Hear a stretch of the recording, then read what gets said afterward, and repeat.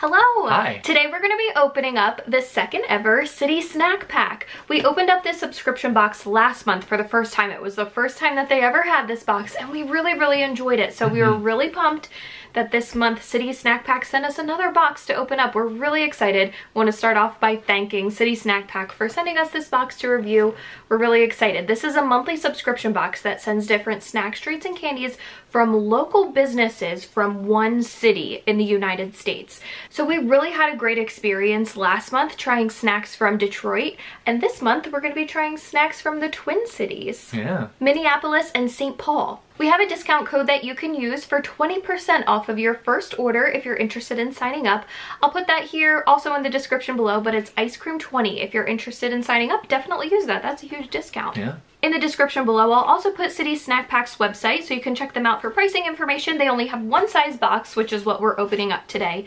And then I'll also link all of the playlists for all of our other subscription box videos, including our City Snack Pack playlist, which will have our video from last time if you want to check that out. I went into a little bit more detail about the company and the pricing of the boxes, but the main thing that's like the most important is just how much this box focuses on supporting local businesses, mm -hmm. and we really love that. We experienced that a little bit in our USA Snax box that we've been unboxing for quite a few months, so if you've been here for a while, you might be familiar with that box. We just really like learning about the local businesses because most of the time these local businesses have websites that you can order snacks from and like have them delivered to you, but unless you like are near them or if you visited them, you probably don't know that they exist. So this is a great opportunity for them to like get the brand's name out there, but then also for us and the people who are like signed up for this box to get to experience those brands without actually going to where they are.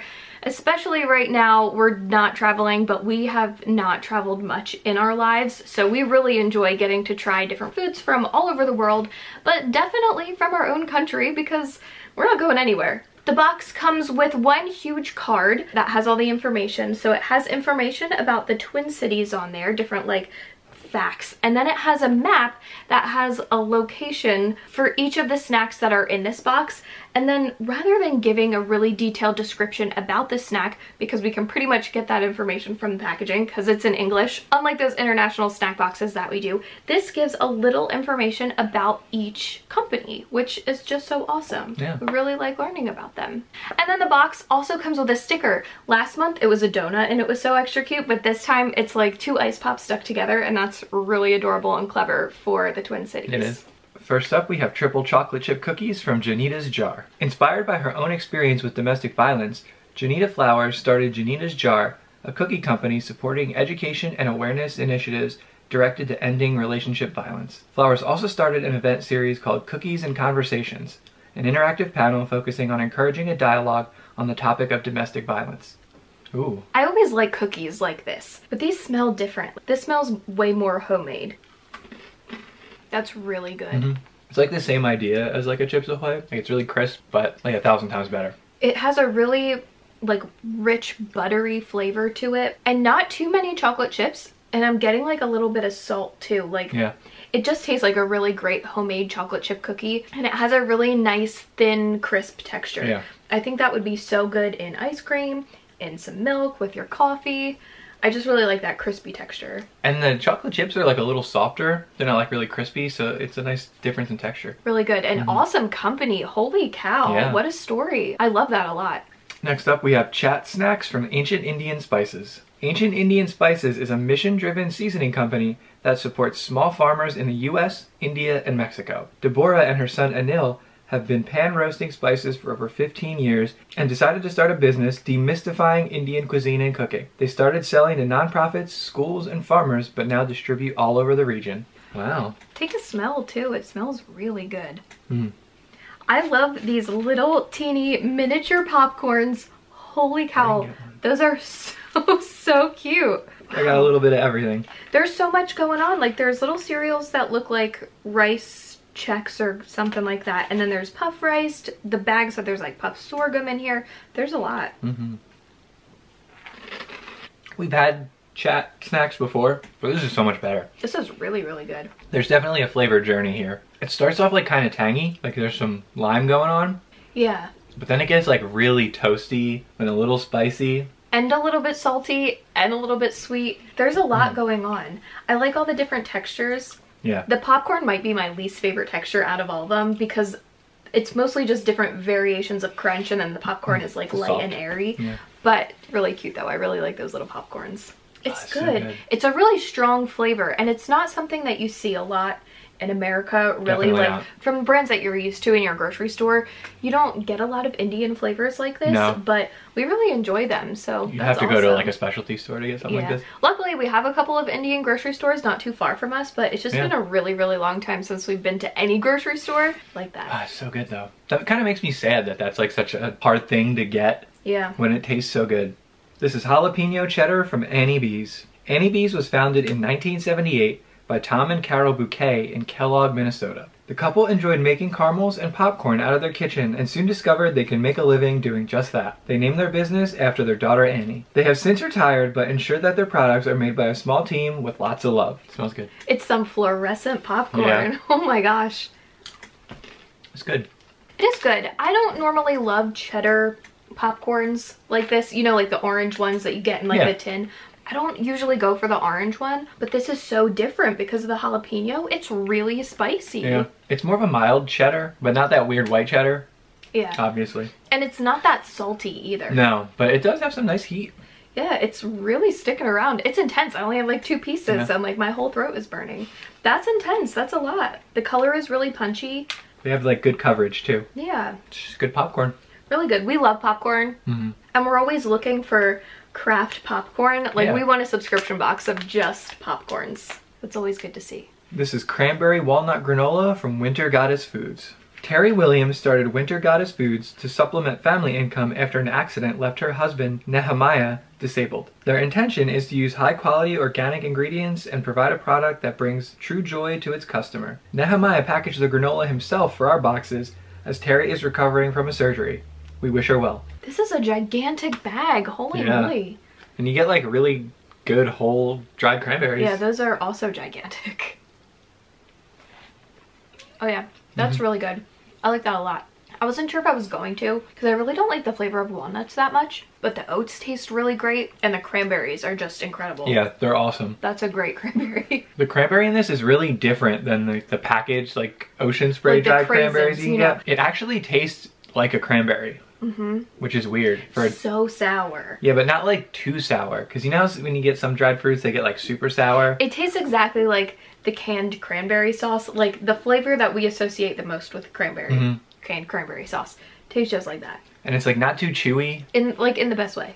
Yeah, Some people don't like that, but like we love that. Really good. really good. I'm really impressed. and I'm not really a granola person. I am. I really do like granola. I like granola on yogurt, or I mean, I guess you could put it on ice cream. I never have, but like I do like granola mayo yogurt. I don't really like yogurt that much, so I, like to have something I like in granola in my yogurt, but like just eating it. But like I want to eat more of that. I always have. I think some people also like eat granola as a cereal with milk. We seem very excited about this Yeah.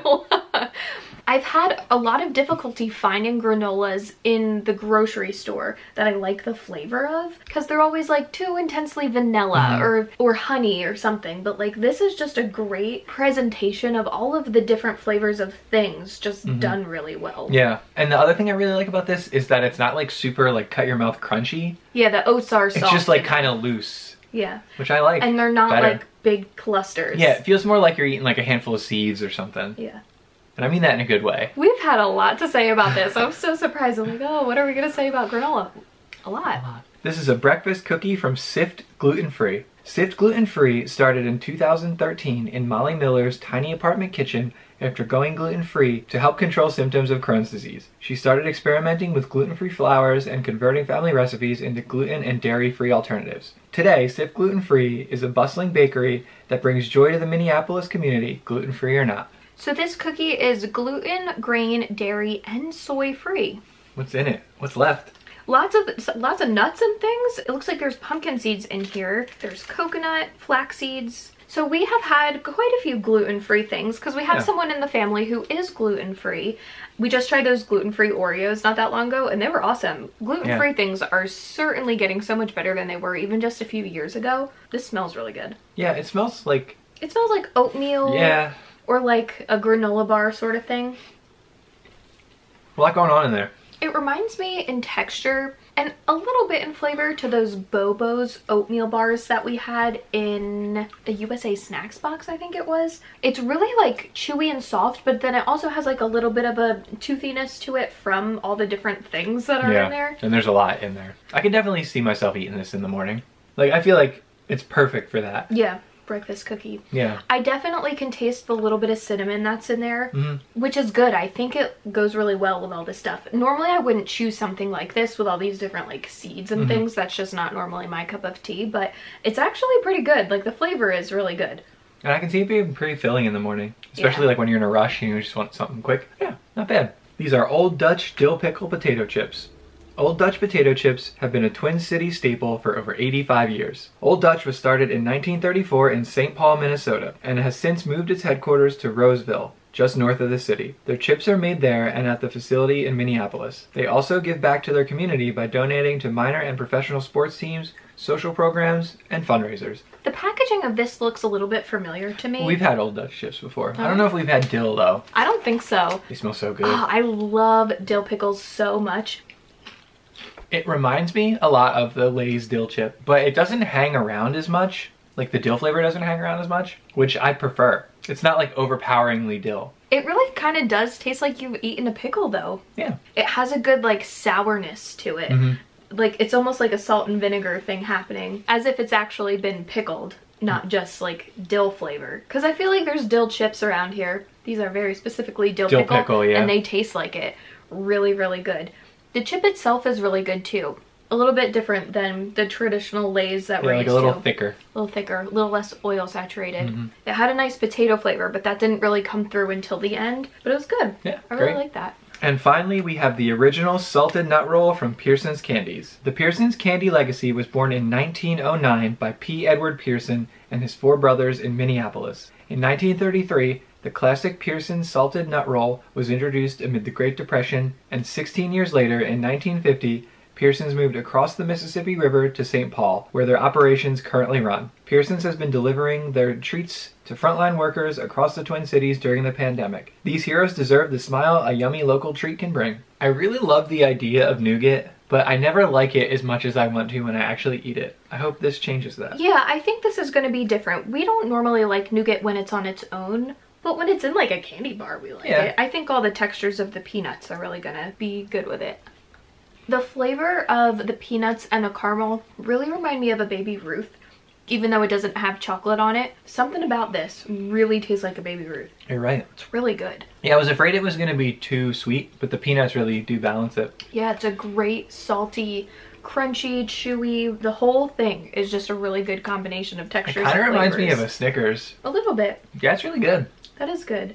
I think it's just when nougat's on its own. It's just too soft and Sugar, chewy. Yeah, like, it's sweet. It's just like a sugar sweetness and nothing else. The peanuts go great with it. They do. That's really good.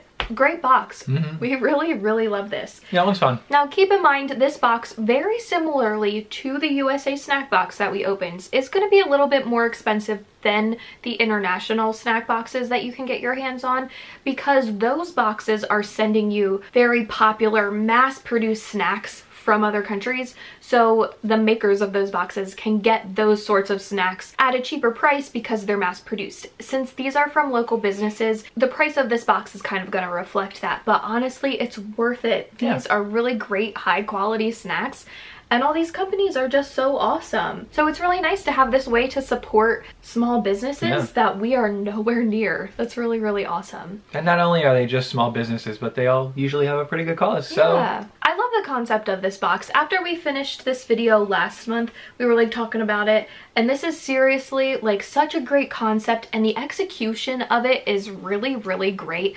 especially for this is only its second box Yeah. and it's done so well already. Even after the first box it was great. We've done quite a few openings for different boxes as they're starting off and it's a journey to like see the boxes change and grow and how they adapt to things. But this box like started off running. Like Yeah. they were great from the very beginning. So we're really excited for them. Thank you again to City Snack Pack for sending us this box. We really, really do enjoy it. Mm-hmm. Thank you for watching. Give this video a thumbs up. Subscribe to this channel if you haven't already so you don't miss any of our other subscription box videos.